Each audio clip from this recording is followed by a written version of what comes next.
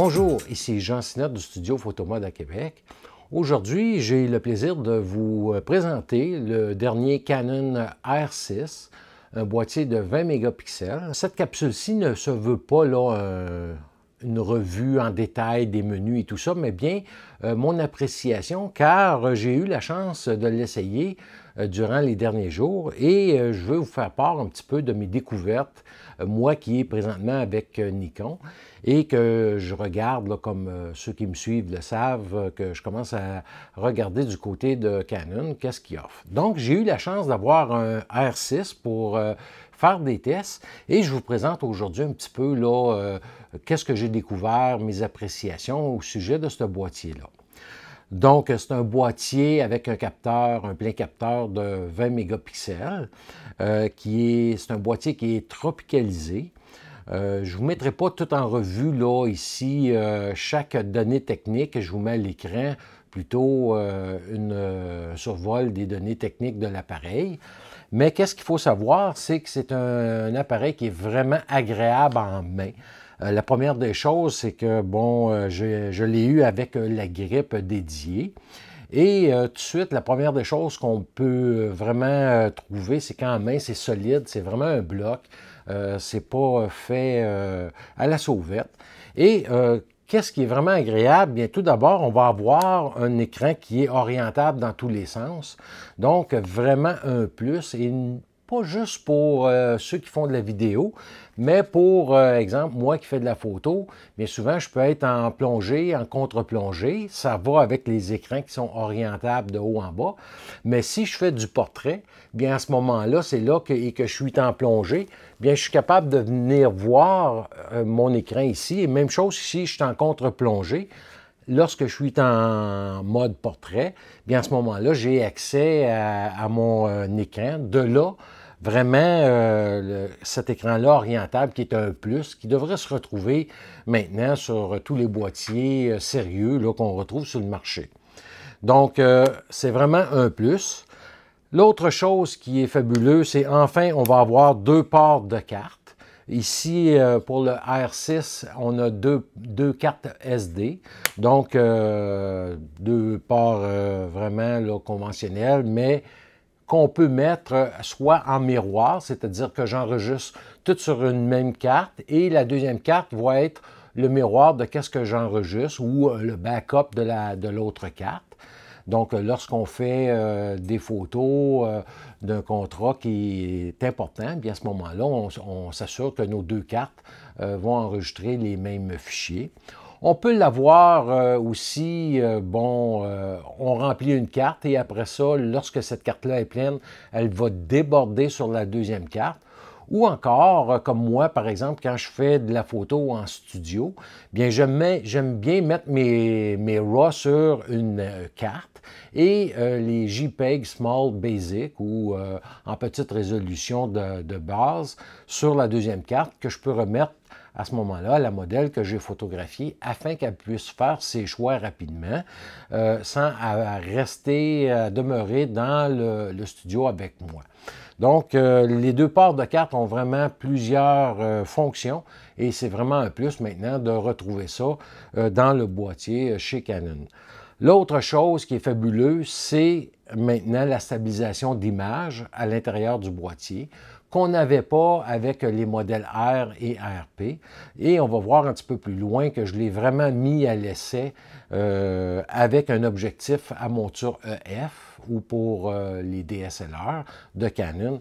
Et je peux vous dire tout de suite que ça fonctionne excessivement bien. L'autre chose qui est vraiment, mais vraiment agréable, je vous le dis, et je suis, euh, ça fait plusieurs fois que je le dis concernant Nikon, c'est la sensibilité du système autofocus à voir dans le noir. Tout d'abord, il faut savoir qu'on a une petite, euh, LED, une petite lampe ici, que l'on peut euh, assigner lorsqu'on est en faible lumière pour aider le focus à se faire.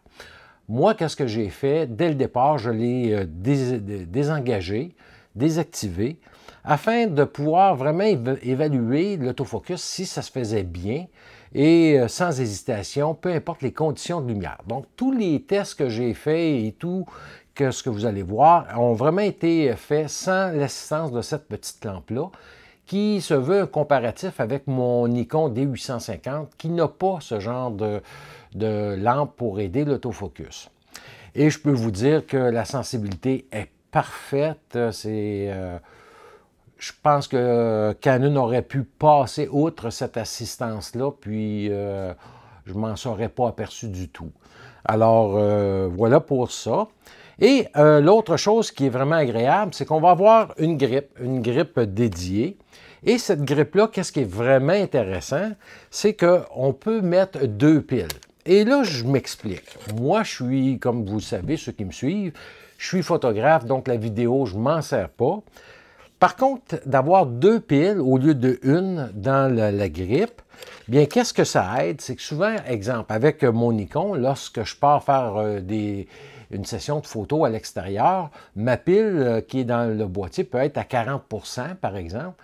Et lorsque j'arrive et je commence à faire mon, shooting, bien ma pile va euh, souvent euh, être complètement déchargée. Je vais devoir changer ma pile. Ce n'est pas quelque chose qui prend excessivement de temps, mais l'avantage d'avoir la deuxième pile, bien, dans ces cas-là, je peux mettre une pile chargée à 100% et ma pile, lorsqu'elle devient euh, déchargée, bien l'appareil va commencer à utiliser la deuxième pile et je peux passer euh, tout le long de mon shooting sans aller chercher une pile supplémentaire. Donc, vraiment un plus d'avoir pensé à intégrer deux piles dans la grippe du Canon.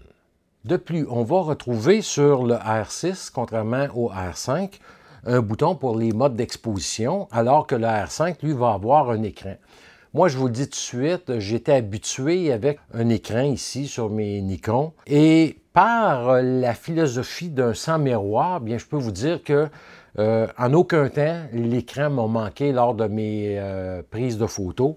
Euh, on a tout ce qu'on a sur l'écran normalement est disponible directement sur euh, le moniteur. Et vraiment, euh, je ne me suis pas ennuyé du tout une, seule fois du petit écran qu'il y avait ici. Donc, euh, je crois que si le R6 n'a pas cet écran-là, pour moi, ça ne représente pas un truc négatif en tant que tel. L'autre chose qui est vraiment agréable, on va avoir la présence du joystick. Euh, la même chose qu'on retrouve euh, sur le 5D Mark IV, par exemple, et euh, chez, Nikon également. Donc, on a vu le retour de ce joystick-là chez Canon, qui est vraiment un plus. Et ce joystick-là également peut être programmé dans le, menu de différentes fonctions qui peuvent lui être assignées. Donc, c'est vraiment un plus de revoir ça apparaître sur ce modèle-ci de caméra. Euh, l'autre chose qu'on va avoir également, c'est un petit bouton qui euh, s'appelle Rate. Et ça, c'est vraiment intéressant parce que, exemple, moi, lorsque je fais un shooting avec une modèle et qu'on parcourt ensemble là, sur les lieux, euh, les photos et que la personne me dit, ou même moi je trouve une photo excellente, mais je peux venir tout de suite donner un classement dans euh, l'appareil et à ce moment-là, lorsque je vais ouvrir le logiciel photo, bien je suis capable d'aller rapidement retrouver les photos que j'avais classées lors de la prise de vue.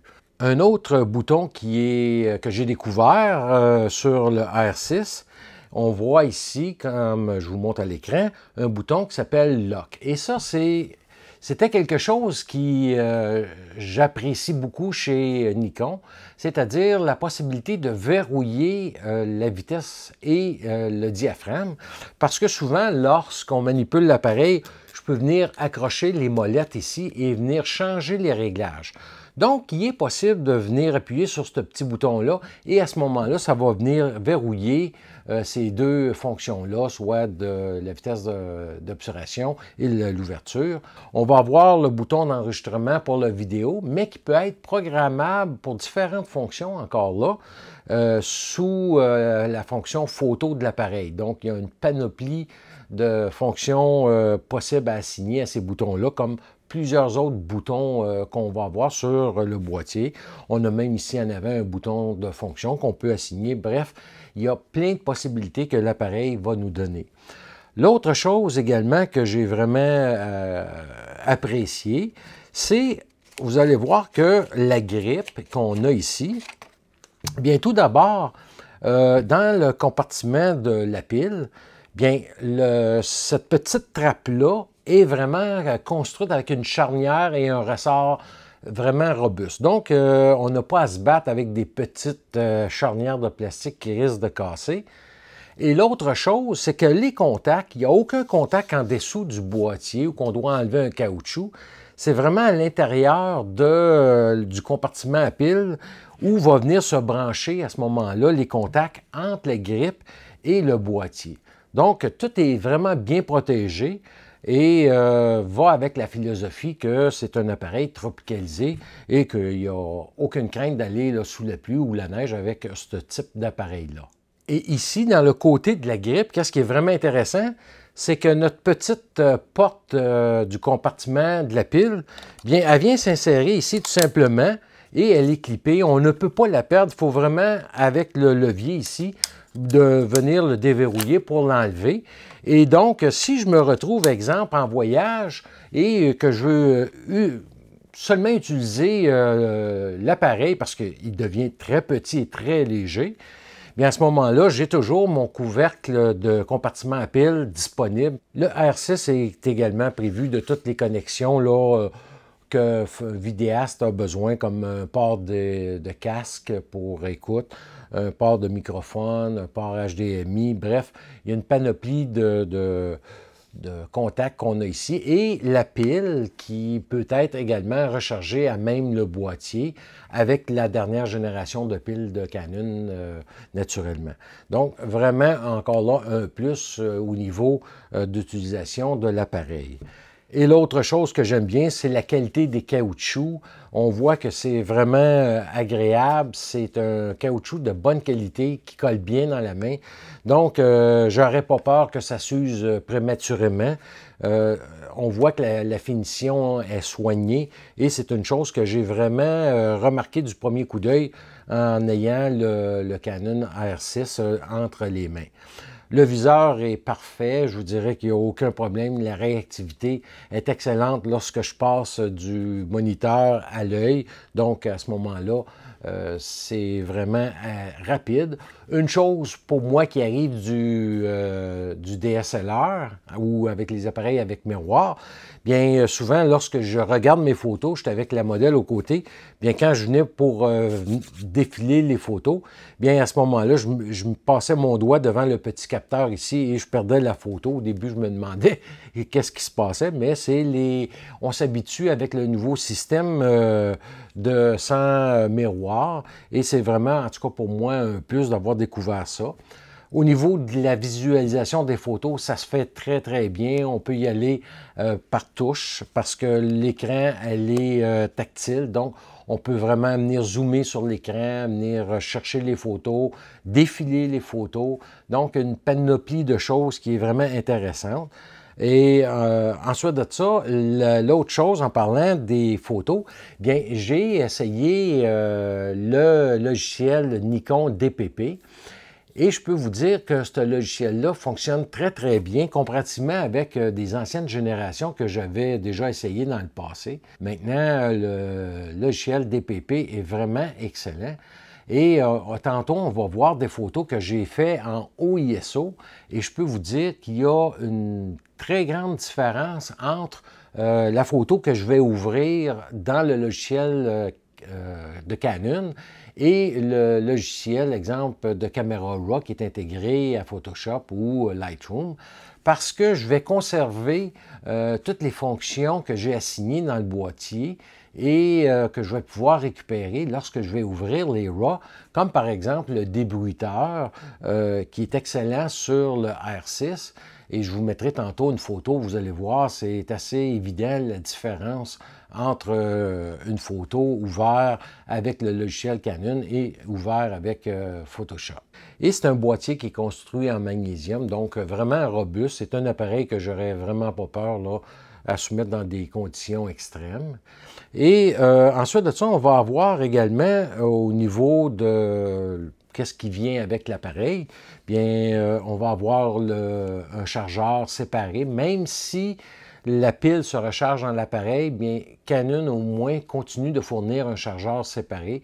C'est une bonne chose parce que, comme par exemple avec euh, euh, mon Sony que je filme présentement, le ZV1, bien, il a fallu que j'achète un chargeur à part parce que ce n'était pas inclus dans le prix. Donc, euh, il faut savoir que le chargeur est toujours inclus avec euh, le Canon R6 ainsi que la courroie et quelques accessoires. Une chose que je vous conseille, c'est de vous acheter un protecteur d'écran parce que, bon, euh, oui, c'est robuste, sauf que plusieurs, j'ai vu des gens briser leur écran, soit avec la boucle de ceinture lorsqu'on l'a en bandoulière, euh, ou tout simplement euh, si euh, je le frotte sur une surface, bien pour le, coût que ça vaut, en moyenne 11-12 dollars pour un, protecteur d'écran, c'est facile à trouver. Et c'est vraiment un plus d'avoir ça dès le départ parce que je vous le dis, vaut mieux jeter ça que de d'envoyer l'appareil en réparation. Et le mien, moi, c'est euh, vraiment un verre trempé, donc euh, c'est pas une pellicule, il laisse aucune, euh, aucun résidu sur l'écran lorsque je l'enlève pour le remplacer, par exemple. Donc, c'est un accessoire vraiment que je vous conseille à avoir. Du côté des points que j'ai moins aimés, bien, il y a l'écran arrière qui est 3 pouces au lieu d'être 3.2 pouces. C'est normal que le R5 offre un écran plus grand, à cause du prix. Euh, l'autre chose qui est un petit peu désagréable, c'est euh, avec les, objectifs de base qu'on va voir tantôt, exemple le 24-105, bien le parasoleil n'est pas inclus. Donc, euh, moi, je pense que Canon devrait inclure les parasoleils avec tous les objectifs. On le sait qu'ils font avec la série L professionnelle. Donc, ça devrait être un peu la même chose avec tous les objectifs et fournir euh, le parasoleil là, euh, plutôt que d'avoir à le commander et de l'acheter séparément. Le menu, les menus du Canon est vraiment différent des menus Nikon. Et pour avoir euh, programmé l'appareil, l'avoir mis à ma main, mais je vous dirais que la transition, c'est quand même bien fait entre les deux. Et une fois qu'on a trouvé l'ordre logique des menus, bien ça va bien par la suite. Et comme dans tous autres appareils, bien, on peut avoir notre propre menu personnalisé. Et c'est ça que j'ai fait. Je suis venu vraiment à l'intérieur, venir chercher toutes les fonctions que je voulais et mettre dans mon menu, dans le menu personnalisé, toutes les fonctions. Donc, beaucoup plus rapide que parcourir tous les menus à la recherche d'une fonction qu'on veut se servir assez régulièrement. L'autre chose aussi qui m'avait euh, un peu euh, laissé euh, perplexe. Je suis habitué, moi, avec un bouton plus-moins sur mes appareils lorsque je veux compenser l'exposition. Et je me disais, bon, euh, ça va me manquer. Euh, et pas du tout, parce que en explorant l'appareil, c'est carrément accessible via l'écran et très rapidement. Donc, si j'ai une compensation d'exposition, j'ai tout simplement appuyé sur mon bouton ici menu et bing, je tombe dessus, je mets la, la, correction que je veux et ça y est, c'est fait. Et finalement, la dernière chose que pour moi qui était un peu euh, négative, euh, j'ai eu euh, l'adaptateur pour monter des, des, objectifs EF sur le R6. Et le modèle que j'ai eu, c'est avec un filtre intégré. Donc, euh, comme lui ici, il y a un filtre polarisant qui est intégré. Et il n'y a pas de fourni avec un autre tiroir qui n'a aucun filtre si je ne veux pas l'utiliser. Donc, moi, quand j'ai fait mes tests, j'ai été pris pour faire tous mes tests avec le fil polarisant. Donc, il a fallu, exemple, en studio, que je compense pour la perte de luminosité du fil polarisant.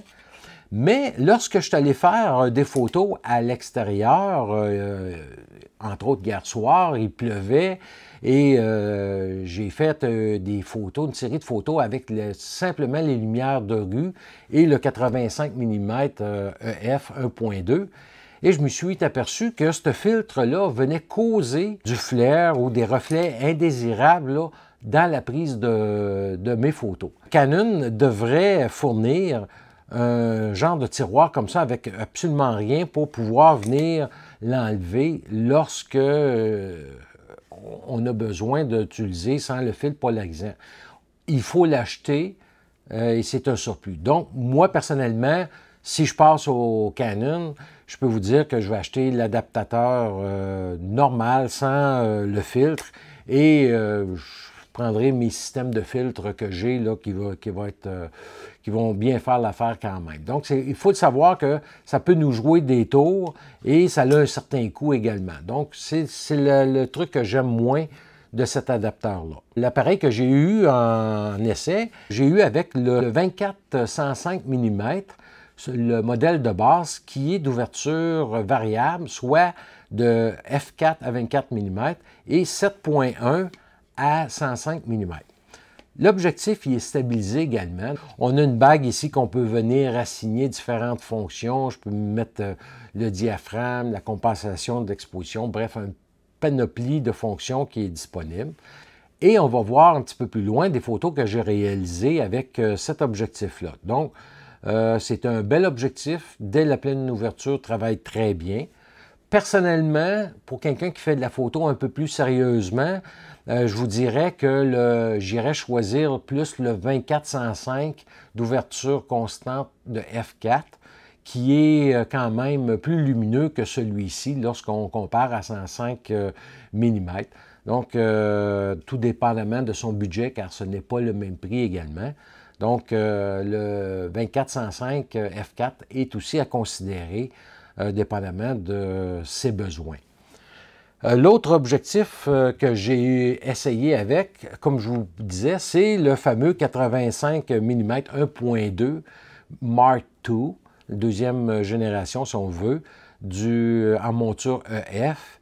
Et écoutez, avec l'adaptateur, je l'ai essayé dans toutes les conditions possibles, seulement les lampes pilotes ou modeling light de mes flashs allumés euh, on va le voir plus en détail, mais vraiment, euh, je n'ai pas un mot à dire. C'est vraiment, même à pleine ouverture, ça a été agréable à utiliser. Bref, euh, une belle découverte également. Et pour ceux qui sont déjà équipés chez Canon d'objectifs EF, bien écoutez, le boîtier travaille très bien et la stabilisation également travaille très bien avec des objectifs qui ne sont pas stabilisés.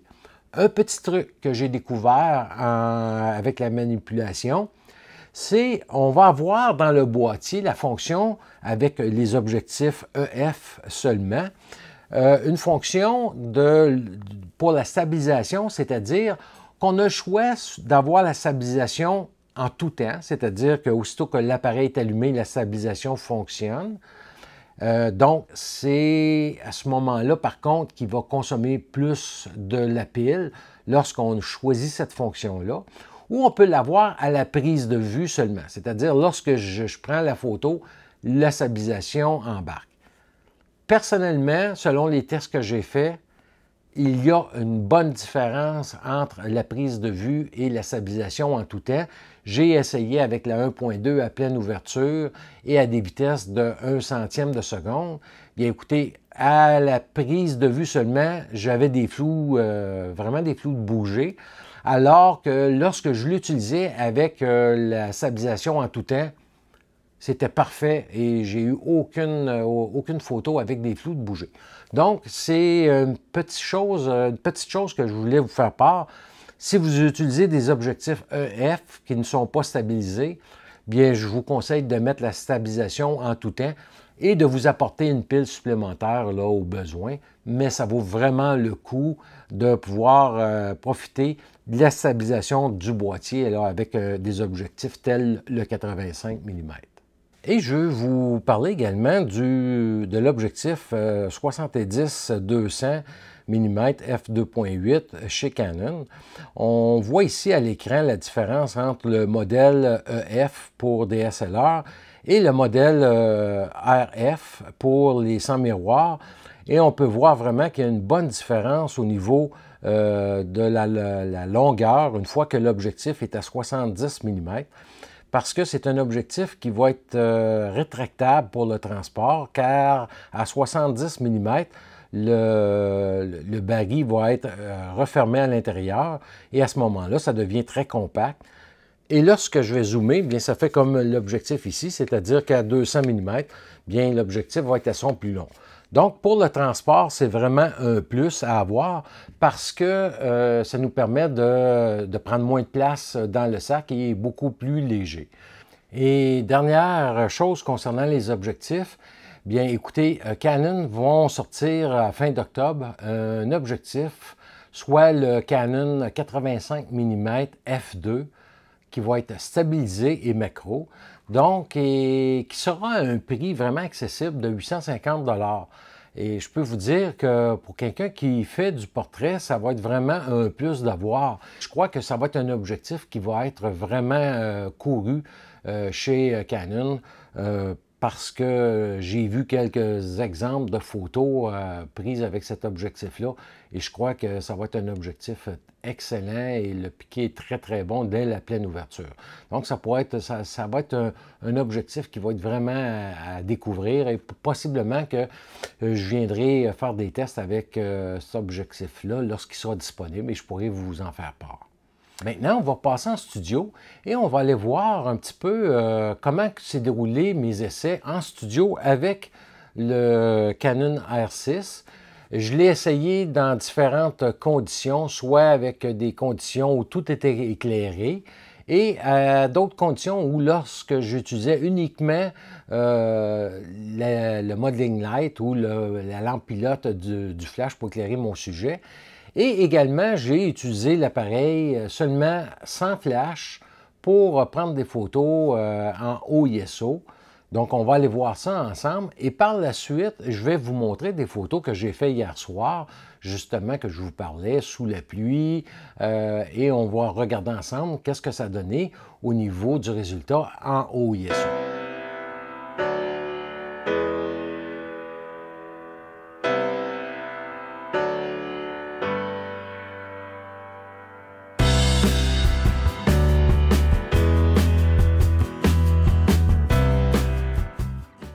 Je viens d'essayer le 2405, euh, l'objectif de base de Canon.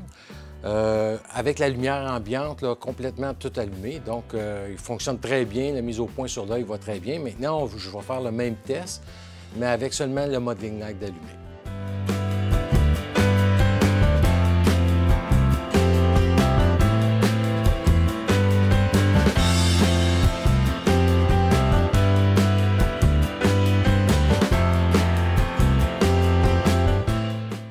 d'allumé. suivi à l'œil va extrêmement bien, même si j'ai presque pas de lumière. Là, ça paraît pas parce que euh, les appareils compensent, mais euh, c'est quand même sombre. Puis euh, l'autofocus du R6 n'a aucun problème à suivre les yeux. Là.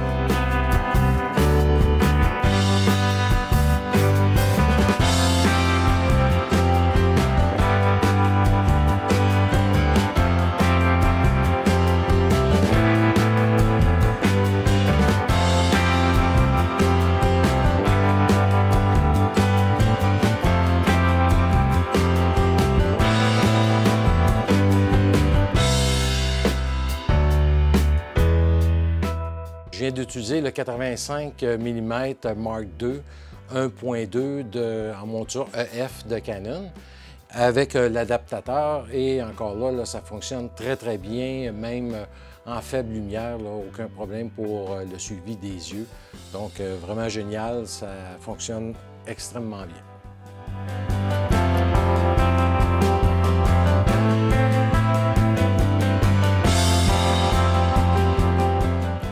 Donc, je suis avec le 85 mm 1.2 Mark II de Canon en monture EF et euh, l'autofocus continue et je peux faire euh, en continu, en mouvement, les photos que je veux parce que le focus se garde en continu sur l'œil.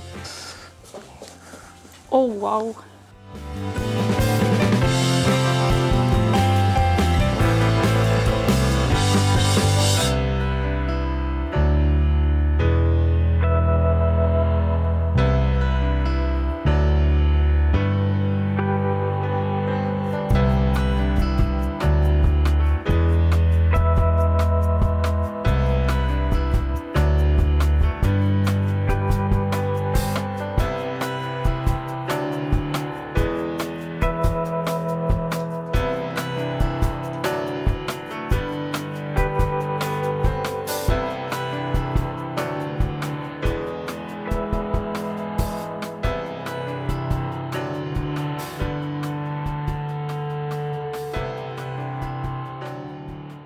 Donc, pour euh, revenir sur une des dernières photos euh, qui a été prise en lumière ambiante, euh, je voulais vous montrer qu'avec le logiciel de Canon DPP, comment qu'on peut recouvrir vraiment le débruiteur qui est intégré au Canon R6. Donc, on voit ici l'image en pleine grandeur. Et sur euh, l'image suivante, c'est pour vous montrer la différence entre ouvrir avec caméra RAW dans Photoshop 2020 euh, sans aucune modification et l'image de droite avec Canon DPP, encore là, sans aucune modification. La prochaine série de photos euh, ont été réalisées justement en pleine soirée hier soir avec le R6 et à ce moment-là, euh, j'ai mis euh, tout le long une vitesse de 1 160e de seconde. La stabilisation du boîtier était engagée et j'étais à l'ouverture maximum en tout temps de 1.2. Et à ce moment-là, avec les euh, ISO en position automatique, j'ai vraiment parcouru les extrémités dans les hauts ISO. Donc ici, on voit une image à 3200 ISO. La prochaine, je suis à 2500 ISO. Euh, toujours là encore, sans aucune modification. toutes les images que je vous présente, j'ai ajouté aucun débruiteur, absolument aucun filtre. J'ai juste corrigé un petit peu la peau du visage euh, de Marie-Claude. Et euh, c'est tout. J'ai apporté aucune autre modification, sauf que balancer la lumière. Donc ici à 2500 ISO. Même chose ici, avec un peu plus de lumière, j'ai obtenu 1250 ISO. Maintenant, j'ai poussé jusqu'à 20 000 ISO. Et euh, bon, oui, effectivement, si j'agrandis beaucoup la photo, on tombe vraiment sur du bruit et tout ça. Mais ça reste quand même, euh, bon, euh, pour l'Internet, ça va bien. Mais c'est pour vous montrer un petit peu les, les ISO, comment on peut pousser quand même avec cet appareil-là. La prochaine image, bien écoutez, c'est un addon. On se promenait et on, à cet endroit-là, il y avait une affiche de Canon et je me suis servi de l'éclairage qui éclairait cette affiche-là pour éclairer le visage de Marie qui est en dessous à 1000 ISO. Ici, c'est encore dans une rue euh, à 5000 ISO. Euh, toujours à 1.2 et éclairé par un lampadaire qui était non loin des lieux. Donc, euh, on peut voir euh, que lorsque le sujet a une lumière plus contrastée qui se détache du fond, bien, le bruit va être beaucoup moindre et le grain, même chose. Et finalement, bien écoutez, ici, à 25 600 ISO, et c'est pour encore là vous démontrer euh, jusqu'à quelle extrémité on peut se rendre. Euh, effectivement, si euh, je grossis la photo, bien à ce moment-là, je vais tomber rapidement sur le bruit, sur le grain, mais c'est quand même potable. On peut toujours se dépanner avec ça. Personnellement, je n'irai pas jusqu'à ces hauts ISO-là, mais c'est pour, en tout cas, démontrer les capacités de l'appareil. Donc, comme vous avez vu, euh, le Canon euh, R6 est vraiment génial. Euh, dans les hauts ISO, il performe très bien. J'ai été en mesure de récupérer des, en plage dynamique des RAW qui étaient sous-exposés. vraiment un plus. Comme je vous parlais également, le logiciel DPP, vraiment à découvrir, je vous le conseille. Il est gratuit. Lorsqu'on veut aller le chercher, on a seulement à rentrer le numéro de série de notre appareil le tour est joué. Donc, euh, vraiment des plus de ce côté-là. Au niveau des prix, bien écoutez, le euh, R6, si on prend le boîtier seul, euh, coûte 3500 dollars canadiens ou 3800 dollars canadiens avec l'objectif de base, le 2405, là, à ouverture variable de 4 à 7.1. Donc, c'est une question de choix. Personnellement, quelqu'un qui commence euh, la photo de portrait et euh, veut vraiment aller un peu plus en profondeur et n'a pas beaucoup d'objectifs, ben je conseillerais le 2405 F4 comme je vous parlais, ou encore tout simplement aller chercher euh, bien prochainement le 85 F2 macro euh, qui s'en vient, qui est stabilisé et qui sera également disponible. Et si vous avez le budget, bien pourquoi pas un 85 mm 1.2 qui est fabuleux. Écoutez, les photos que j'ai fait avec euh, la monture EF, euh, j'ai pas eu la chance d'essayer en monture RF pour le, le sans miroir direct, mais ça doit être fabuleux parce que tous les tests que j'ai vus rapportent qu'il est encore supérieur à, la monture EF. Bref, vraiment un plus. Et pour ma part, bien écoutez, moi, j'achète euh, mon équipement photo chez L'Art Photo à Saint-Jean-sur-Richelieu. Malgré que je suis à Québec, c'est pas un problème parce que, écoutez, autrefois, je demeurais dans la région de Saint-Jean. Ça fait des années que j'allais chez L'Art Photo. Et euh, maintenant, avec euh, l'Internet, bien, c'est facile de pouvoir acheter. Et vous savez, moi, je, dis tout le temps, on n'est jamais plus loin que le téléphone. Et c'est un petit peu ça qu'on trouve avec leurs photos.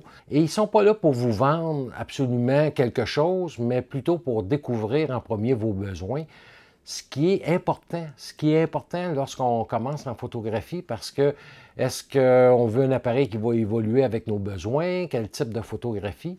Mais c'est tout ce genre de questions-là qu'on va vous poser là-bas avant de vous euh, lancer un appareil à acheter. Donc, leur photo, je vous mets le lien ici au bas de la page. N'hésitez pas à aller voir leur site Internet ou si vous passez dans la région, d'aller les saluer. C'est vraiment des, personnes agréables et un service hors pair, je vous le dis. En conclusion, bien écoutez, le R6, bien je vous dirais que c'est un appareil d'excellente ergonomie. Euh, je vous le dis, le déclencheur euh, sur la grippe avec euh, toutes les fonctions qu'on retrouve sur le boîtier. On va avoir le joystick comme sur le, boîtier, le deux ports de carte, la finition, la qualité de finition du boîtier. Mais le plus gros point pour moi, qui est vraiment important, comme on a vu dans la, la vidéo lorsque j'ai pris des photos en studio, c'est que le système autofocus est vraiment sensible dans, faible lumière. J'ai désactivé la, lampe d'assistance autofocus et en aucun temps j'ai eu des problèmes. Bref, euh, vraiment un beau boîtier. J'adore les deux molettes ici euh, qu'on retrouve un peu euh, comme les anciens DSLR, c'est-à-dire avec la, molette en arrière pour régler la vitesse et en avant l'ouverture. Donc, vraiment excellent. Et je ne peux pas faire autrement que recommander le Canon R6. Et vraiment, ce fut une très belle découverte pour moi. Alors voilà, merci beaucoup et à la prochaine.